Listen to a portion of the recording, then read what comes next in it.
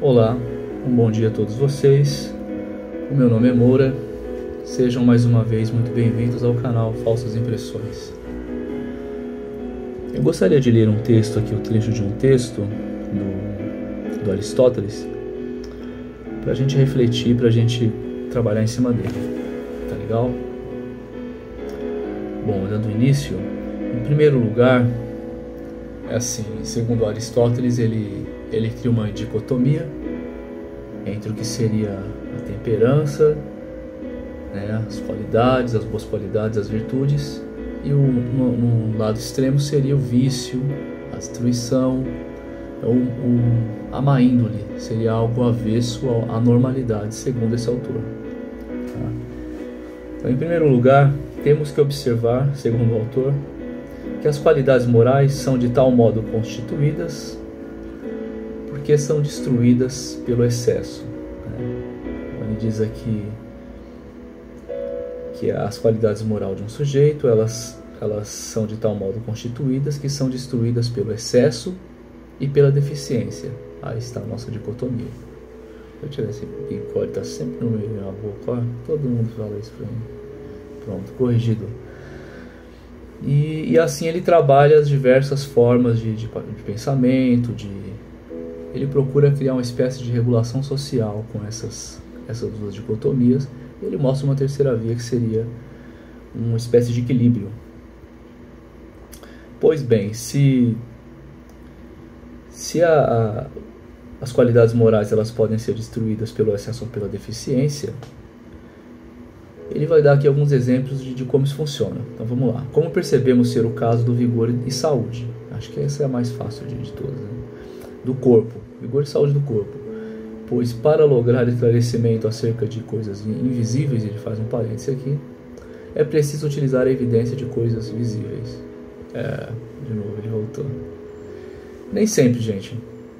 É, existem filósofos que não partem dessa linha de raciocínio, mas segundo Aristóteles, para se lograr, para se ter sucesso no esclarecimento de coisas visíveis ou invisíveis, perdão, é preciso utilizar a evidência de coisas visíveis. O problema é quando você vai lidar com questões que são, entre aspas, invisíveis e também suas evidências. Aí a coisa se complica. Bom, continuando, o vigor é destruído tanto pelo excesso de exercícios quanto pela deficiência de, destes, né? E, analogamente, a saúde destruída tanto por alimento e bebida em demasia, em grandes quantidades, quanto pela deficiência destes. Até aqui parece bem coerente. Né? Que em quantidade adequadas a produzem, aumentam e preservam. O mesmo, por conseguinte, se revela verdadeiro em relação à temperança, à coragem e às outras virtudes. Ele tenta estender esse, esse raciocínio a outras qualidades, né? como eu já havia dito de início aos senhores. Os mesmos, por conseguinte, conseguinte, né, se revela verdadeiro em relação à temperança, à coragem e às outras virtudes. Aquele que foge de tudo tomado pelo medo e jamais suporta qualquer coisa se torna um covarde. Aquele que não experimentou o medo ainda de coisa alguma e tudo enfrenta se torna temerário. De maneira análoga, perdão, aquele que cede a todos os prazeres e não se, se contém diante de nenhum se converte em um libertino, enquanto aquele que se afasta de todos os prazeres, como fazem os indivíduos rudes, se torna o que pode ser qualificado como um indivíduo insensível, né? um indivíduo temerário. Assim, a temperança e a coragem são destruídas pelo excesso pela deficiência, preservadas pela observância da mediania. É nesse ponto que eu queria chegar. O Aristóteles ele, ele observa uma espécie de mediania entre as entre essas linhas de, de pensamento que ele que ele esclareceu aqui para a gente agora, né? Ele pegou alguns pontos, algumas qualidades humanas, criou uma dicotomia. Ele provou, claro, para mim ficou muito claro a forma que ele propôs aqui ficou clara. Em seguida, ele disse que é necessário alcançar e observar a mediania, né? Eu me lembrei do governador do Rio de Janeiro, Cabral, vocês acham que ele pecou por por, por excesso? Hã? Vocês acham que ele foi ele fez ele cometeu muito excesso? Talvez se ele tivesse sido um pouco mais medianíaco, eu nem sei se existe essa palavra. talvez ele estaria por aí, né? como, como a gente pode ver aí o aquele cara que envergonha o, o sobrenome do não sei se do avô é um tal de alguma coisa Neves é algo assim é apareceu até um áudio dele aí o ano passado ele ameaçou até matar um cara não se for o caso a gente mata o cara ele está praticando a mediania né ou será o excesso eu acho que é o excesso, é extremo. Né? Aquele sujeito que esfaqueou o presidente. O que vocês acham? Na cabeça dele, é engraçado, ele disse isso em entrevistas.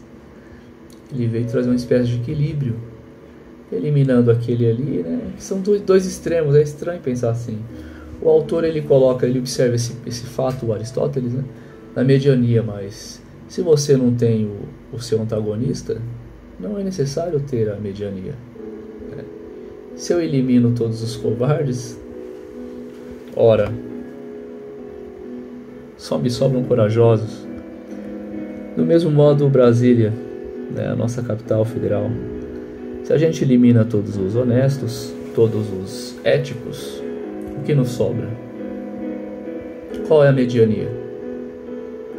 Do jeito que está constituído hoje o Congresso, né? a gente observa que o Maia ele já pôs as asinhas para fora. Depois que ele foi eleito, né, ele esperou passar um pouco. Ele pecou pelo excesso da, da deficiência, né? Ele ficou meio ali em cima do muro. Agora ele vem com tudo. Né? Eu não vejo mediania no comportamento desse presidente. Ele não deveria ter sido eleito. Para mim foi uma grande falha do governo. O governo deveria aproveitar que opinião pública, opinião popular ela respeita, conhece os seus projetos de governo. Né? Muitos, muitos que apoiaram a candidatura de, de Bolsonaro, eles fizeram isso de livre e espontânea vontade, não, não houve pagamento. Eu vi isso, gente. Eu via para Paulista, tinha cara com a camisa, bandeira, é, é Bolsonaro. Eu não conheci nenhum diretório dele, não fui em nenhum diretório do PSL. Minto, fui em um mas não havia o material ali. O pessoal foi. Né? O governo, devia de aproveitar isso, ter lançado um candidato forte aí para ocupar a presidência da Câmara, ele deixou a revelia, né? ele pecou por deficiência. Né? Ele deveria ter agido de um modo mais incisivo e ter, ter apontado alguém. Não ficou aquele, aquele Kim Kataguiri, porque aquele menino é um coitado, ele tem muito que aprender ainda, né? A gente pode ver isso nos debates que ele realiza no YouTube aí, que, puxa. Mas teria sido interessante. Como eu comentei aqui em outro vídeo da daquela moça que tá achando que tudo é surreal, tal de Janaína Pascoal, tudo para ela é surreal, hein? Gente, é incrível, é surreal. Oh, ela está se horrorizando com tudo. Parece que ela não para um pouquinho para pensar, né, para praticar as observações de Aristóteles ela vai no, no, na outra ponta rapidamente. Ela tem um transtorno de humor, essa moça. Ela não parou para pensar na, no modo que as escolas funcionam. Será que ela já foi alguma escola pública, gente? Eu lhe pergunto. Eu já fui em muitas. Muitas. Eu acho que falta um pouco disso. Não sei. É, achei interessante de qualquer forma a candidatura dela, porque são visionários, como eu disse em outro vídeo, né? O cara acabou de assumir o governo, ah, vou tentar. Ficou, foi muito chato, de repente até aquele Arthur Durval, também não sei a idade dele, se ele teria idade para compor, de acordo com as regras da, da casa, né? A casa é muito cheia de regras, gente. Parece uma casa de do século passado, né? Muito cheia de regrinhas. Se você parar para pensar ali, a gente vive com o pé no na no passado, né, no século XVIII, é Palácio do Planalto, Palácio dos Bandeirantes. É uma coisa esquisita, né? Palácios têm reis. Existe algum rei no Palácio dos Bandeirantes? Não, tem um cara que pensa que é um rei. ele, ele em breve vai descobrir que ele não é nada. O próprio governo com os seus tropeções. Eu nunca vi, gente, esse bigode está me incomodando. Eu nunca vi uma reforma da Previdência com tantas concessões. Sabe, ele mostra uma carta e Alguém olha um pouco o avesso ele já mostra outra. Eu acho que está faltando aí um pouco de mediania. Né? Às vezes o nosso governo ele peca por deficiência no esclarecimento de alguns fatos e às vezes ele peca por exagerar outros, né? Como essa história do ministro da Educação, que eu não me recordo o nome dele. Ele poderia ter tratado aquilo de, uma outra, de um outro modo. Ah, uma vez por mês, os alunos seria interessante se os alunos cantassem um hino. Gente, é o hino do nosso país. O que há de mal nisso? É uma vez por mês. Agora, aquela coisa de filmar, não vejo isso, gente. É, se você ouviu esses dias um comentarista de, de telejornal se eu não me engano foi o Josias de Souza, né? para você amar a pátria, a pátria tem que, que ser amada. Você não vai conseguir isso com um projeto de lei, com, é, com um comentário, um comentário do ministro, com a nota do, do ministro da Educação. Isso acho que ele pecou pelo excesso. Vocês acham que falta mediania no governo, no brasileiro? cidadão. Nosso cidadão foi extremamente conflitivo, né? Na época das eleições que a gente viu foi uma guerra, tiros de todos os lados, né? Agora parece que o brasileiro ele se sentou, se está procurando a mediania, eu acho. Os maiores críticos do governo tenho percebido em rede, mesmo alguns tidos como ah, totalmente antagônicos, né? Ao, não a proposta, é engraçado. Os adversários do Jair Bolsonaro, eles não eram contra propostas do Bolsonaro. Eles eram contra a pessoa do Bolsonaro. Tanto que tu vê a, a reforma da Previdência, eu não estou vendo nenhum grande crítico aparecer, o Boulos ou companhia, ou, estão aparecendo em meios alternativos. Eu tenho pesquisado, mesmo a Heloísa Helena, o Ciro Gomes, cadê? Cadê essa gente? O Haddad sumiu. Não, quer dizer, o Haddad apareceu aí. Uh, apareceu uma denúncia né, a respeito dele. Ele pecou por excesso. e ele tem uma denúncia aí do, do STF, parece que vai ser levado adiante. Mesmo o Lula, né, o Lula, ele foi no enterro, que Deus o tenha, do neto dele faleceu. Eu não sei as circunstâncias ainda, eu vi isso hoje de manhã no telejornal. Mas eu, eu fiquei contente que não cometeram um erro que foi cometido quando da morte do irmão do candidato. Não candidato não, do presidiário Lula. Né? Isso é uma desumanidade, né? Até o, o bandido mais vil, ele tem esse direito garantido por lei. Né? Se isso não for oferecer um risco para... O nosso amigo Marcelo Max, ele pontuou aqui em um vídeo, ele fala sobre isso, né? Que havia, assim, uma espécie de risco. Ele, ele se aprofundou mais no tema como... Porque eu, então, não vou contradizê-lo. Havia, sim, segundo ele, é, ele levou em consideração os acontecimentos da, da prisão do Lula, que ele fez aquela, toda aquela festa, né, encheu de sindicalista, correu para São Bernardo. Nossa, aquilo virou uma bagunça. E a gente ficou com muito medo. Eu fiquei temerário ali. A, o excesso ia correr solto, não havia mediania. Pois bem, gente, era isso.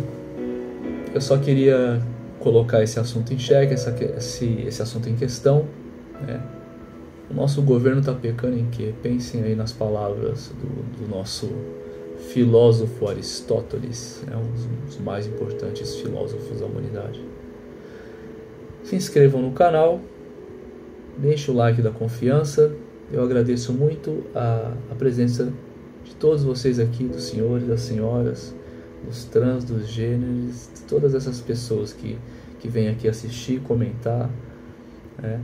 Peço mais uma vez a vocês encarecidamente comentem aí na, na barrinha do lado. É, as pessoas enviam comentários no privado para mim. Eu não acho legal expor aqui, só se for uma coisa muito grave, como eu fiz acerca do de um vídeo que eu gravei aqui do Luiz Felipe Pondé, o desentendimento que ele teve com, não foi nenhum desentendimento com o Olavo de Carvalho, né? Foi uma briga de mídia Agora essa expressão é nova, anotem briga de mídia. É, eu ouvi isso esses dias, eu fiquei, fiquei extasiado, é um bom nome, né? Eu não gosto de ficar nessa briga de mídia no, no, no privado, né? Porque as pessoas têm o direito de, de conhecer a opinião da gente, a opinião de vocês. Todos nós aqui somos formadores de opinião, né? E às vezes eu tenho eu tenho coisas aqui que eu leio, mas eu, eu, não, eu não falo a vocês porque a pessoa mandou no privado já para já para que as outras pessoas não tomem ciência. Então eu faço todo um, um, jogo aqui para falar de um modo que que não exponha a pessoa, como eu fiz agora nesse vídeo. Tá? Mais uma vez, muito obrigado. Um bom final de semana a todos vocês. Até logo.